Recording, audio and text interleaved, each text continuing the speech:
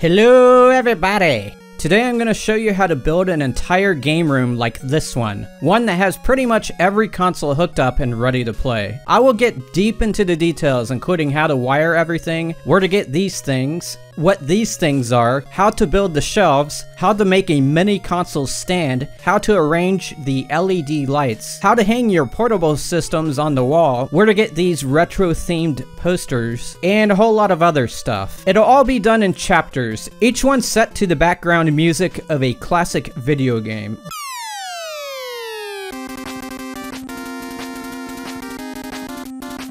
Before we get into it, ask yourself, do you really want to build something like this? It's an enormous time investment to build, will cost you an arm and a leg, and you may not even have time to enjoy it when you're done. I don't want to sound discouraging, but you need to think about these things beforehand. Do you really want to be like me? Look at me, I'm freaking crazy. Of course, many of you aren't here to replicate the setup, but instead you want to borrow a few aspects of it. To that end, in the comments section, I'll post timestamps, so you'll be able to jump to whatever chapters you want to see. I'll also be very active in the comments on this one, so if you have a question or suggestion, post it. So let's get on with it.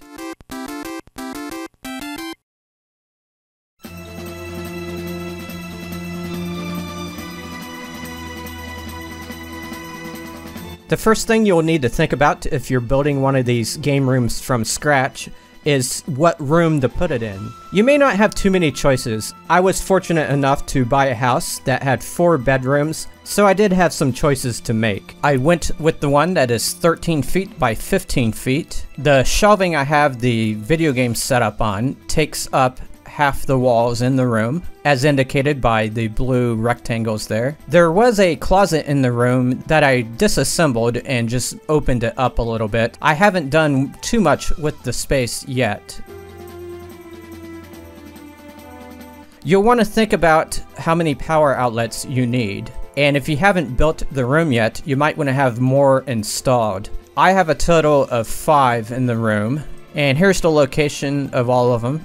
Something else you'll want to think about is internet access. You'll want at least a good Wi-Fi signal, but if you play a lot of online multiplayer games, you'll want to put in a LAN cable if the room doesn't have one already. This is one I installed myself. Obviously, there's a lot of slack in the cord, which I'm going to take care of eventually. It was hard to buy a cord exactly the length that I needed it to be. The more built-in lights that you have in the room, the better. I replaced a ceiling fan with a LED dome light, and since I have that, I don't have to use a power outlet to light the room. I advise against using the basement as a video game room if you have that choice. There's more moisture overall in basements, which could harm the electronics within your games, but perhaps you have things in place to take care of that moisture.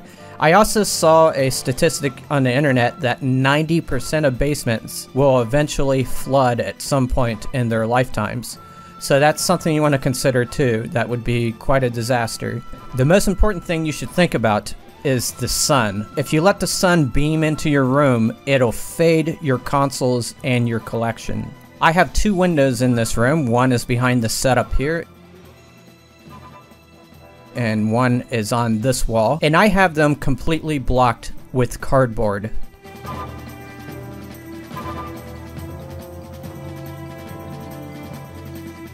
Let me remove this cardboard and show you what it looks like if the sun shines into the room.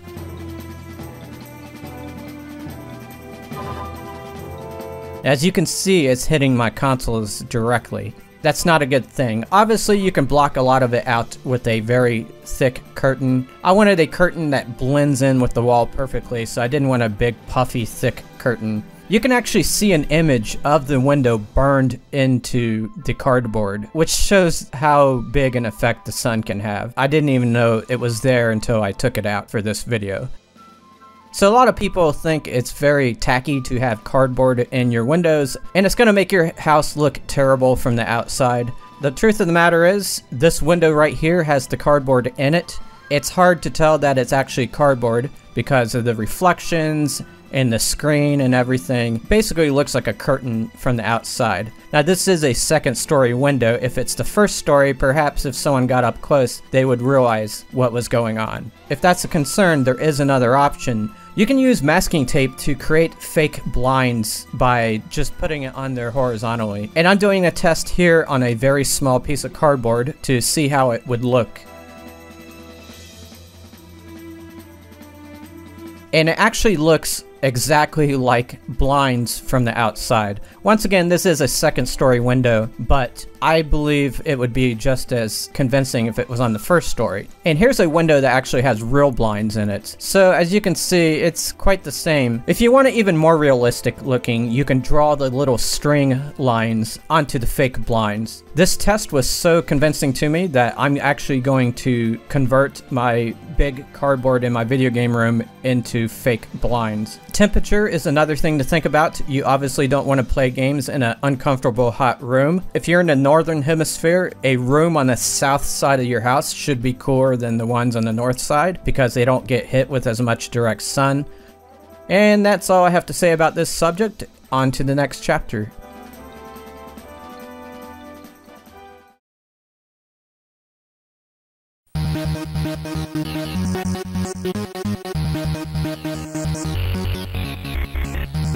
Okay, so let's talk about the wire shelving that I use. My setup measures 72 inches high, 140 inches wide, and 18 inches deep.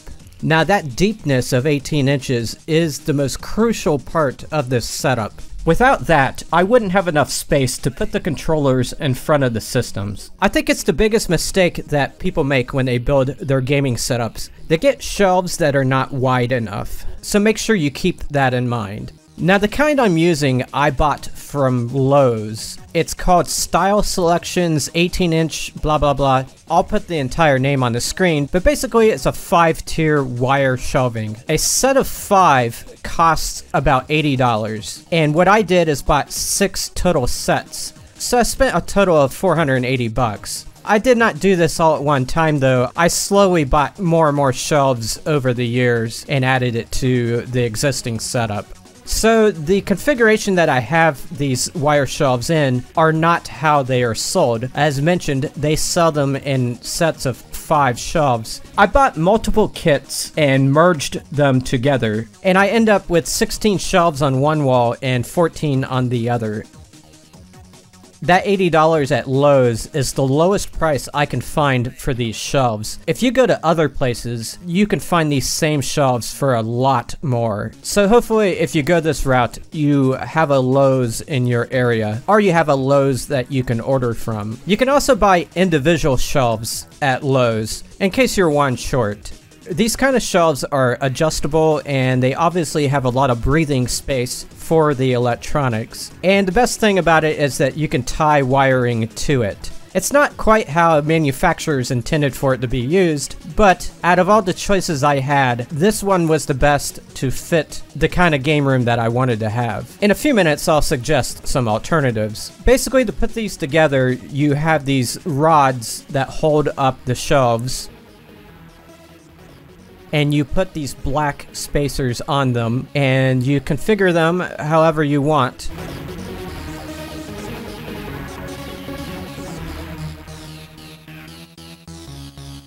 And you place the shelves on the spacers and then you tap them down with a mallet and you can use a leveler to make sure you have it level.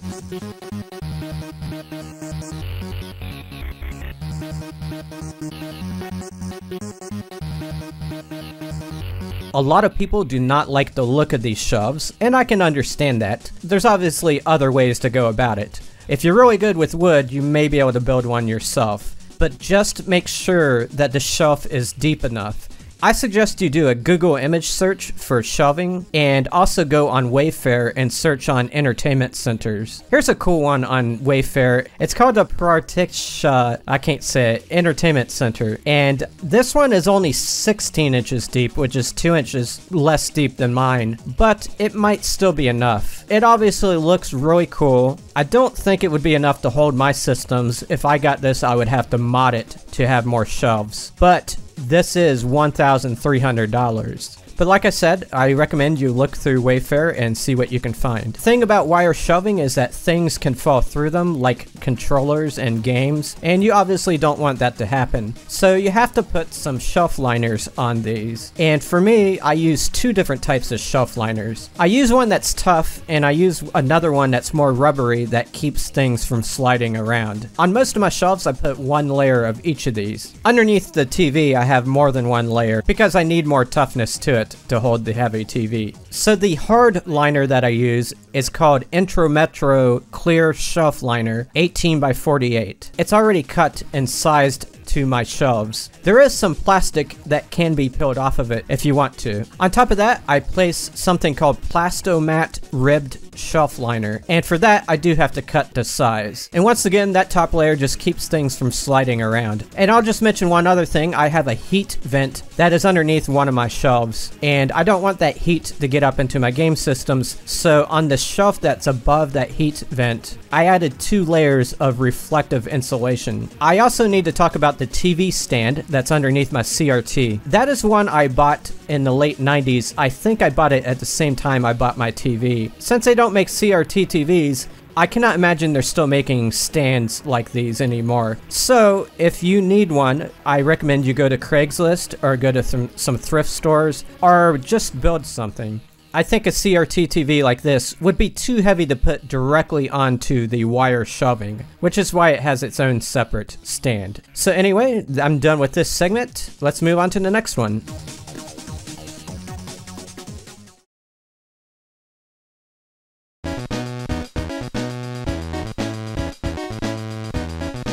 You've probably already noticed that I have trays underneath most of my consoles. They make the systems more presentable and they allow me to tuck the controller cords underneath them. A long time ago I bought these from an office store. It was either Office Max or Office Depot. They are called Honeyware Ready Shelves. However, many years ago I could not find them anymore. And then I discovered they were being sold under a different name online called Walter Drake Snap Together Shelves. So do a search on that and you will find them available on many sites including Amazon. Now I will say they are expensive, a lot more expensive than when I first bought mine. Inside the package are rods and I just toss those out because you can just take to the shelves and put them together to form the tray that I use for my consoles. Now you have to be careful, there are some sharp edges on the plastic, so you can use sandpaper to wear it down a little bit. Not every system will fit perfectly into these. For example, on this one I have to use some VCR tapes to prop it up because the system is just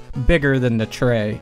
These do come available in white, and I think I would recommend that over the black because the black does show dust. If it's white, it's going to be much harder to see the dust, so you'll have to dust less often. In addition to the trays, I also have a couple pedestals that I have underneath the Ouya and the Hyperscan. For those, I basically cut some squares out of wood and glued them together. And then I painted it. This is just something specific that I needed because the Ouya was kind of behind the controllers to begin with. And the same thing with the Hyperscan, so I needed them to be elevated. So that's all I have to say about that. Let's go on to the next segment.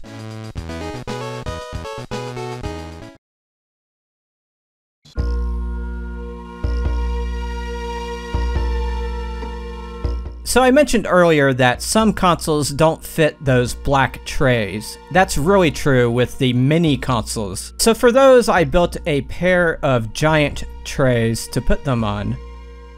So right here is what the underside looks like, and I'm just going to put the dimensions on the screen. So there's a rod down here. The purpose of that is to lean the controllers against. And you should be able to buy those at the hardware store. I bought ones that are 1 and 1 8 by 36 inches. The thing is, it needed to be longer than 36 inches, so I actually had to glue two of those together. By the way, at the hardware store, they're called wood dowels. For the rest of it, I just bought some pine and I cut it and I screwed it together. And then I gave it a couple of coats of red paint. That is the same color of my wall. So this allows you to tuck the controller cords into them and give it a nice presentation. If you have any questions about this, just ask me in the comments.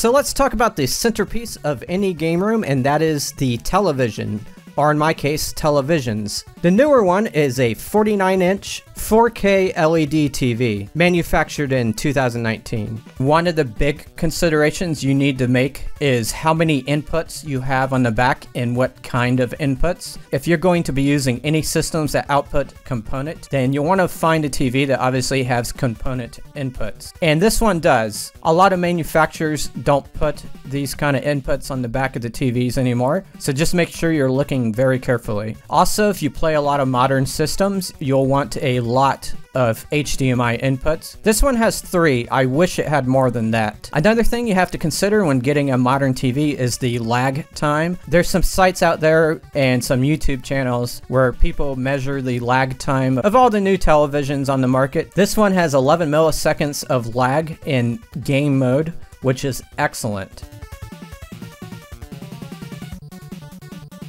My other TV is a 32 inch JVC CRT TV that was made in 1999 and I purchased it in the store in 1999 and it still works today. A lot of people like to upgrade their old systems to play on newer TVs to get a graphical upgrade and because they sometimes don't have a CRT sitting around. I chose not to take that path, at least at this point, because I'm very satisfied with the way my setup is now. I just like playing on the old TV that I've had for 21 years. It has a low level of lag and the systems that are hooked up to it were made to be played on it. So you get a very authentic experience. Of course, finding a CRT today is a little bit harder harder to do since they, they stopped manufacturing them years ago. But you should still be able to find a lot of them. They're on Craigslist, they're in thrift stores. I advise everyone out there to preserve as many of them as possible if you have the space for them. Of course, if you're going the CRT route, you'll want to consider the inputs that are on the back of the TV. I strongly advise you get one with an S-video input. A lot of the old systems look very good with the S-video output, and it could be done very cheaply. And also, you'll want to make sure you have the yellow composite input. A lot of very old CRTVs will not have any of these things. So before you pick something up by the curb, just take a look at the back. Mine also has audio out, which I'll be taking advantage of in the future when I add a sound system to the room. The quantity of inputs is important too. I have two sets of inputs total. And if I'm using S-Video on input 1, I can't really use the composite at the same time. So all my composite systems go through input 2. The more you have, the simpler things are going to be. If you are looking for a CRT TV, I do recommend this JVC one that I have. And if you're really lucky, you can find the 36 inch version of it. And here's the model numbers for the 36 inch version. That would be ideal. And if I ever had an opportunity to get one of those, I would get it in a heartbeat. So that's all I have to say about TVs. Obviously people have different preferences, but for me, the dual TV setup of my video game room is something I enjoy a lot. So let's move on to the next chapter.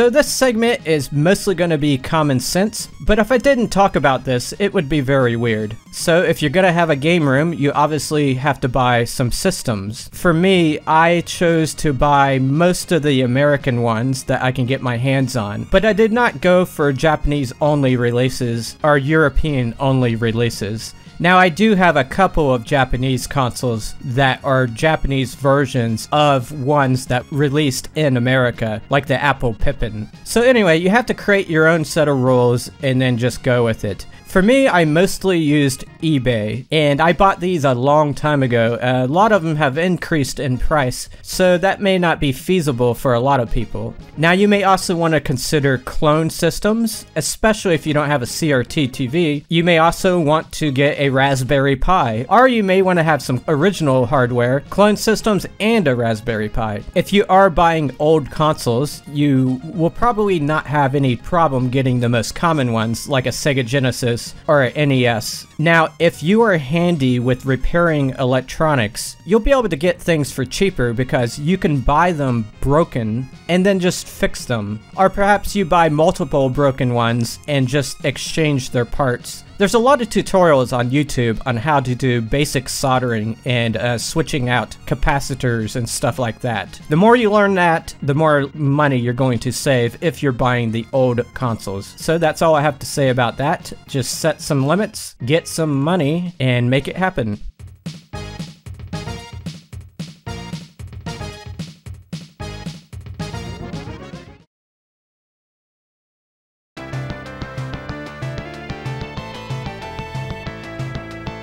It's time to talk about electricity. It's a crucial component of a game room, obviously, and it takes a lot of planning if you're to do a game room like mine. So, as I noted earlier, I have five power outlets in the room. Three of them are used to power my main setup. There's close to a hundred things in this room that need power, so obviously getting that much from just a few outlets is a logistical challenge. But you can make it happen if you buy a bunch of extension cords. I'm talking about a large variety of them. I use a lot of 8 foot cords, but I also use ones that are 1 foot long.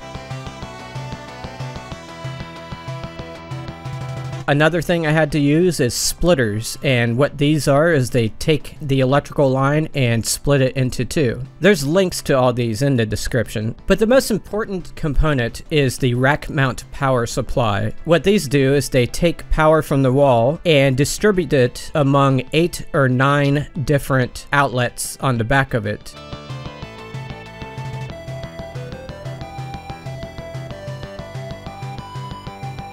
And each one of those outlets has a switch. So whenever you're not using something, it is completely off because the switch is off. I bought them over a series of years and they have come out with different models. Some have 8 plugs and some have 9 and some are black and some are silver. If you're going to get the newest edition, just be sure to read the reviews on Amazon. There are some people that believe these are fire hazards, but I do keep an eye on them and when they're being used, I do feel to see how hot the different components are getting. To plug systems into the back of these rack mount power supplies, you're going to need the small one foot extension cords. That's because AC adapters are very large and you can't plug them directly into the back. These extension cords allow me to just set the AC adapters onto the rack at the top. With all the extension cords, the splitters, and rack mount power supplies and everything else I just mentioned, I created this electrical network.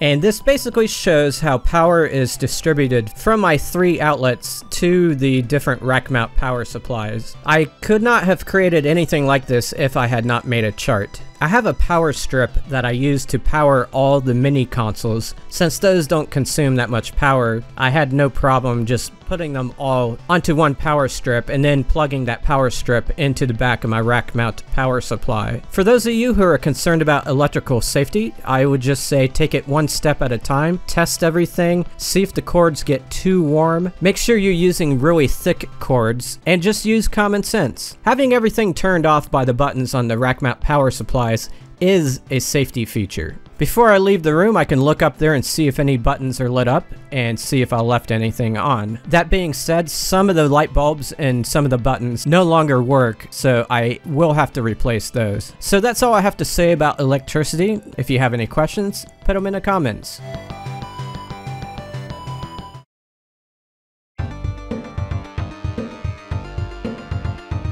Now I'm going to talk about the signal cords. I'm talking about the cords that go from the systems to the TV. I have a very complex network and I'm going to go over every little detail. So I have a variety of signals that I use in this room. I use RF, composite, S-video, component, and HDMI. And I'm just going to hone in on each of those and talk about them individually. Let's first talk about S-video. I have about 11 systems set up to output S-video, but I only have one S-video input on the back of my TV. So how do you get 11 all the way to that one port? Well, it's complicated. I use a series of switch boxes, and I use two different kinds total. The back of a switch box has multiple inputs and one output, which basically means you can hook multiple systems up and have their signal go out one set of cords into the TV. I use this one which has five inputs on it and I'll just put the name on the screen. And I use this one made by the same company that has four inputs.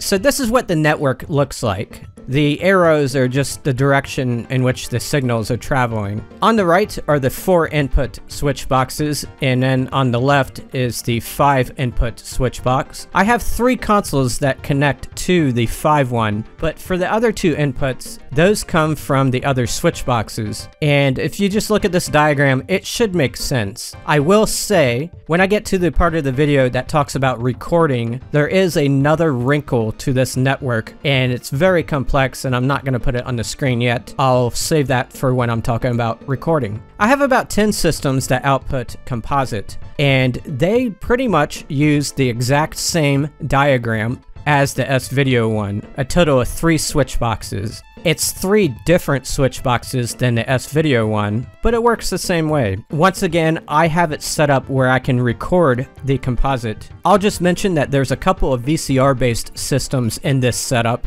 and the way they are hooked up to the TV is so complex that I've forgotten how I've done it. And I actually knew I was going to forget it because I wrote out how it's connected and I have it on this piece of paper in the setup. The two VCR-based systems are very complex to hook up, especially in a network this big. So now I'm going to jump over to the HDMI network, and that's obviously hooked up to my modern TV. For that, I use these Kinivo switch boxes. I actually have two different kinds. Two of them are a 501BN and one is a 550BN. The 551 is geared for the most modern consoles. I have about 16 systems that are sending out HDMI. It was very hard to get that into three different switch boxes. So since I only have three HDMI inputs on the back of my TV, I have one box for each of them. I had to buy a small mechanical HDMI switch that takes in two different HDMI systems and sends them out to the one of the Kinivos. That little one is just a three-port HDMI switch. For HDMI, I do have it set up where I can record from the network. I will get into that on the chapter about recording. Let's talk about the RF systems, and that's what is outputted by most old systems. I do have a Atari 2600 that's been modded to output composite, because I'm a big fan of the 2600. But for all the other old systems, they output RF. And in the past, I used to have a switch box that networked those, but in my dealings, RF does not respond well to switch boxes. RF is already a weak signal, and sending it through a switch box seems to weaken it even more. So I decided to go with a simple plug-and-play system. What that means is all the different RF systems send their cords to this little area that's down here to the right of my TV.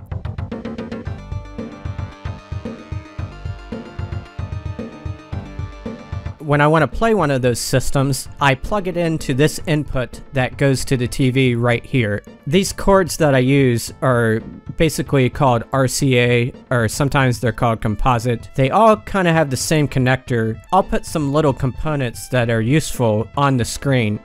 Now some of these things are useful for not just RF, but for composite and component as well. They basically allow you to make extended cables so that you can reach the switch boxes. Now one thing you don't want to do is make your extensions too long. You want to make them just long enough to reach where you want them to go. If a cord is too long, the signal will start to degrade. Lastly, I'm going to talk about component, and I actually do the same thing as I do with RF. I have five systems that output component, and whenever I want to play one, I just switch it up with a little adapter interface I have underneath the TV. And once again, this is because I've had trouble with component switch boxes. Right now, I'm eyeing a new one, and I might experiment with that in the future. So that's all I have to say about the Signal network. Let's move on to the next segment.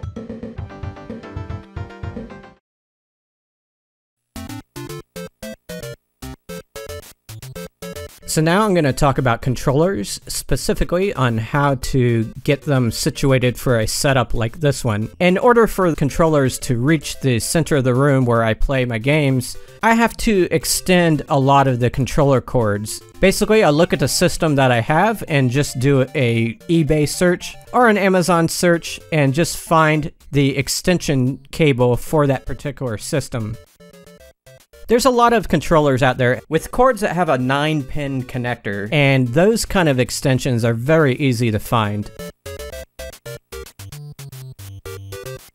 Most of the others are proprietary, so you just gotta do some shopping and some keyword searching and find the controller extensions that you need. I will say there are some options to play some of these systems wirelessly now, but I haven't made an attempt to use any of those. So, on to the next segment.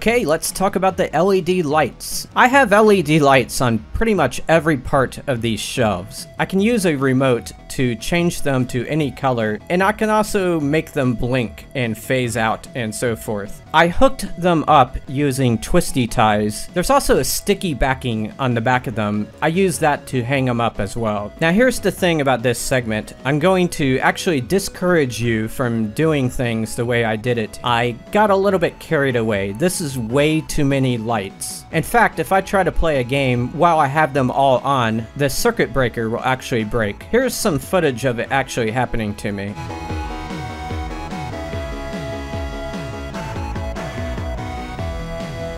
There's a lot of other drawbacks too. I mentioned the stickiness that's on the back of them. Now that tends to gather a bunch of dust dirt and cat hair and all kinds of other stuff. So you'll be constantly picking some of that off. I tried removing the glue from the back a million different ways and I could not do it. It's like the strongest glue in the world. If you don't want to expose the stickiness, you can leave the paper backing on the back of it, but then you're seeing that brown backing all the time. It doesn't look that good. Another drawback to having this many is it's way too bright. There's no way to play a game with these on. If you keep these on while you're playing a game, you'll you'll burn your eyes out. A lot of these light strips I bought off Amazon, and they have failed a lot. There's certain segments that just stop working, so I have to cut those bad sections out. So yeah, there's a lot of drawbacks. If you're going to do something like this, I recommend you don't do as many. And I also recommend you don't put them on the setup itself. Maybe put it along the top of the wall or something, just to give some color to the entire room. That's all I have to say about LED lights, so let's move on to the next segment.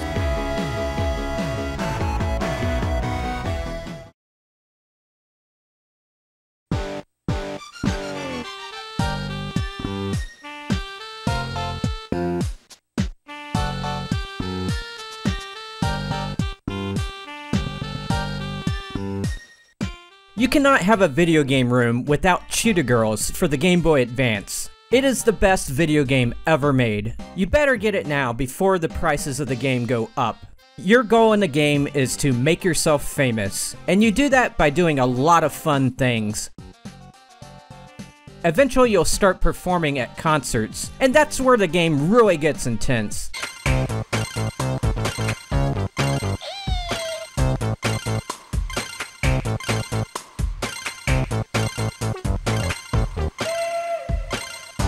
These are some of the best soundtracks that have ever been existed on the earth. It's like blast processing but on steroids. You will never forget this game. You will play it the rest of your life and never play another single game. So that's all I have to say about Cheetah Girls. Let's move on to the next chapter.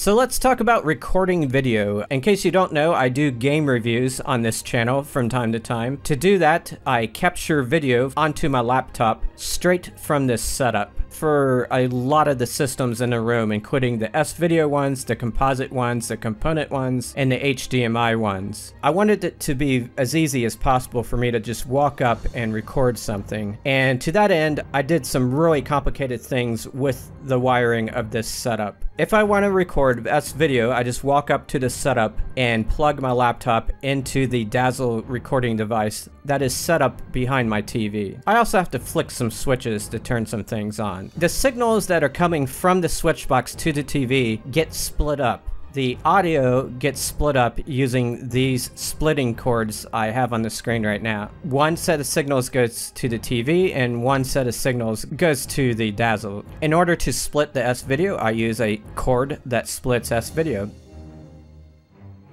But on its way to the Dazzle, it gets enhanced by uh, amplifier, if you will. That's actually a splitter, but I don't use it to split. I just use it to continue the signal, and it sends that signal to the Dazzle. So if I want to record composite, it's a little bit different. What I do is I take whatever device I want to record and plug it into this splitter, and one set of signals goes to the TV and one set of signals goes to the laptop. So there is a little bit of plugging and unplugging I have to do to record composite. This diagram shows how it works. Here's the splitter that I use. For the more modern games on the modern TV, I use an Elgato to record. If I'm going to record an HDMI system, I unplug its connection to the Kinivo, and then I plug it into the Elgato capture device, which is connected to my laptop. And that signal splits and goes into my laptop, and it actually goes into my third Kinivo device, and that sends its signal to the TV. I know, it's a little complicated. And component kind of works the same way. I, there's a component connection to the Elgato. Whenever I want to record a component system, I disconnect it where I would normally connect it to and plug it into the Elgato. And Elgato actually converts that to an HDMI signal and sends it to the TV. So hopefully that all made sense. If you have any questions, leave them in the comments. Let's move on to the next segment.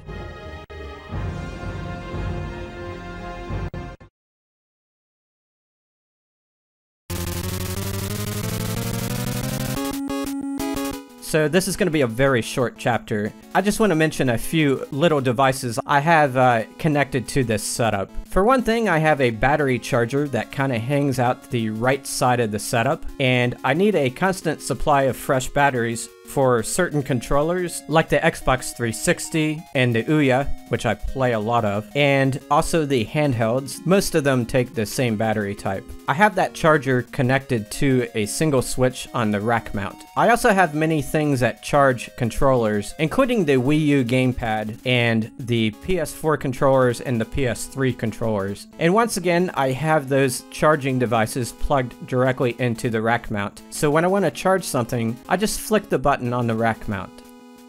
And also, since I have a Wii U and a Wii, they each have a sensor bar. I have one of them above the TV and one of them below it. I have attached them to the chrome shelves. The little cords on those things are very fragile, and I'm glad I have a stationary setup where I don't have to move those things around. So that's all I have to say about the little gadgets of my setup. Let's move on to the next chapter.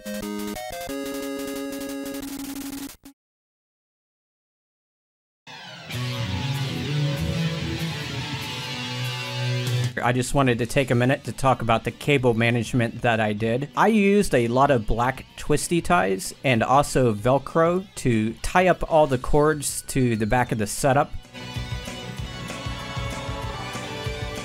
A lot of people don't like that they can still see the wiring. I like to have access to it, and to me it doesn't look that bad. It just looks like a nervous system. A lot of people want me to cover them up with a curtain or something. That isn't feasible, and I don't like the idea of putting cloth on the gaming setup due to something potentially catching fire. I want it to be open to the air. Other people think I should hide the cords using coverings. I don't think that's feasible in a setup like this. Coverings like that are only good if you have wires going from one place to another place before they disband. The wiring in this setup tends to go all over the place and it needs to go in different directions and so forth. It's hard to contain it in a small set of coverings, if that makes sense. There's a lot of wires that are along the ground, along the back of the setup, and they are just hidden from view. It's important to have large places to hide things. You can see here what it looks like behind my LED TV. It's like a waterfall of cords. In other words, I only tie up the things that are visible. So that's all I had to say about cable management. If you have any suggestions, leave them in the comments. On to the next chapter.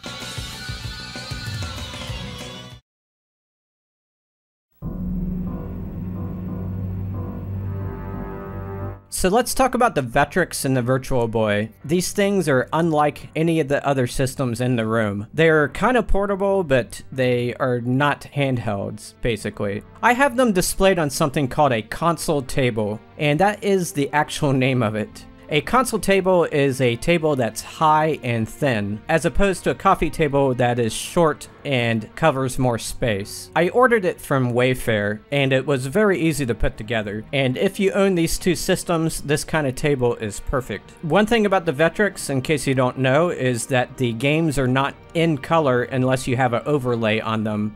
So each game has its own overlay, and I have those hung on the wall beside the table. At any time, I can take one off the wall and put it on the Vectrex. In order to get them hung up on the wall, I bought these pins that have magnets on them, and you push them into the wall, and then you take this other magnet and use it to hang up your stuff, basically.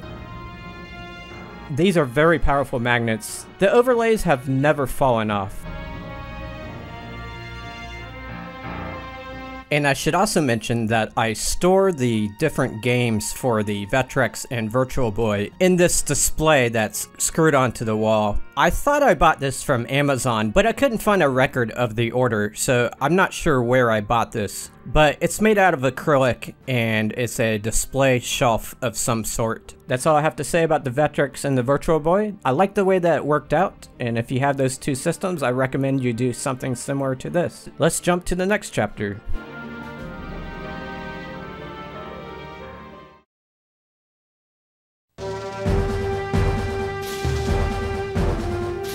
So let's talk about the portable systems that I have on the wall. I used some floating shelves. I ordered them from Amazon. And I just attached them to the wall.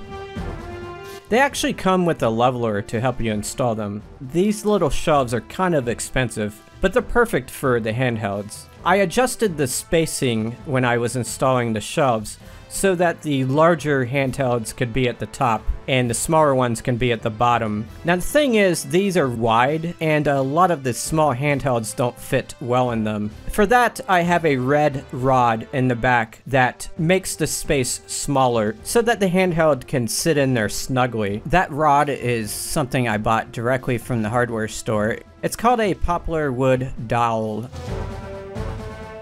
And I basically just painted it the same color as the wall, which helps it blend in. So yeah, I, these floating shelves came out very nice. So that's all I have to say about these handhelds. Let's move on.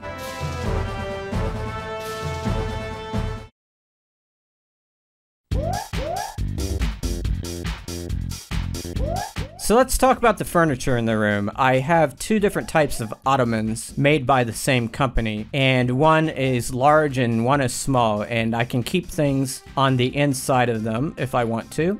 They're very comfortable, but there are some strings that are coming loose from it, and it's happening more and more often. I have to keep trimming them. They should last a while, but I don't think they'll last forever. But they were cheap, and I got them from Amazon.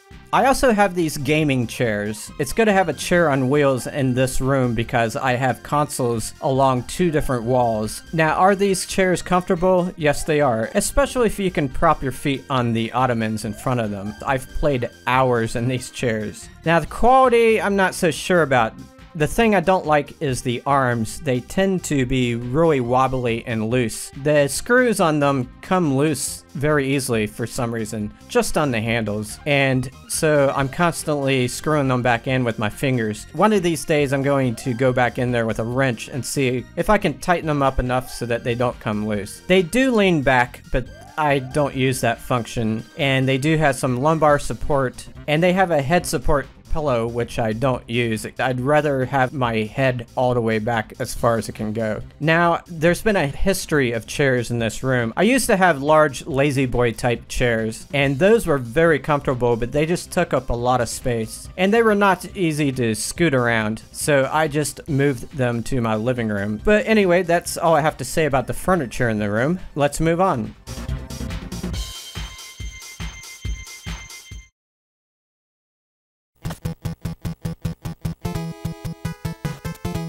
So let's talk about the carpet and the decorations. For the carpet, I installed all gray carpet tiles. I used to have it be a black and gray pattern. Don't get black carpet because it shows dirt too easily. So carpet tiles are pretty easy to install if you can get the surface clean and if you don't have a lot of stuff sitting in the way. You obviously need to get to every corner of the room. These I did not get from Amazon. I ordered them directly from a website, which I'll put on the screen right now. These are very cheap, but they're also very thin, so they're only about as half as thick as regular carpeting. Not all carpet tiles are like that. If you want to spend more, you can get some really, really thick carpet tiles. To install them, I just peeled off the sticker backing and put them on the floor. So let's talk about the two banners I have. I have a PlayStation banner and an Atari banner, and I can't quite remember where I ordered these from. They were either off eBay or from some other website. For the Atari banner, I basically hung it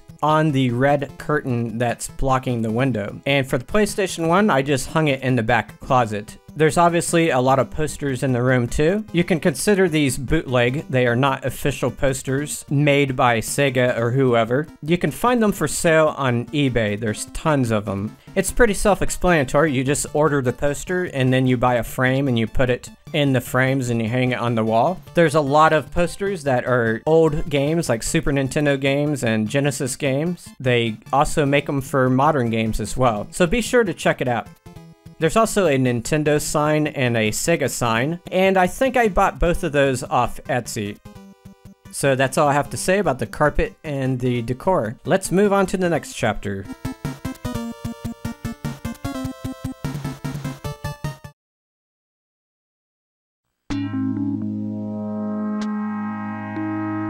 You've reached the final chapter and I'm going to cover labeling and I have a label maker. I'll put the model number on the screen and I use this to label everything in the room. I have a number system set up for the systems. I have the numbers below each system. I have them on the switch boxes and I have them on the rack mount power supplies. So it's really easy to turn something on and get the signal to the TV using the number system. I also make labels for all the other little devices like chargers and stuff like that.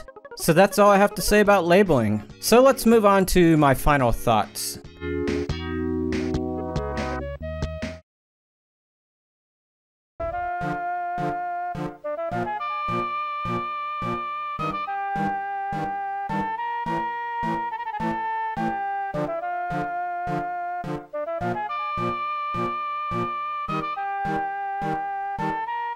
So thank you for making it to the end. I don't know if you watched the whole thing, but if you did, you are a sport and you deserve a reward. Um, it got a little technical there, but I hope you enjoyed me sharing this with you. And if you're going to create your own game room, I wish you the best of luck. If you have any questions, feel free to ask in the comments. I will be watching these comments a lot in case there are any technical questions, because I like to answer those. And also be aware that there are links to a lot of the items that I discussed in the description. Thanks again for watching this video. I'll see you next time.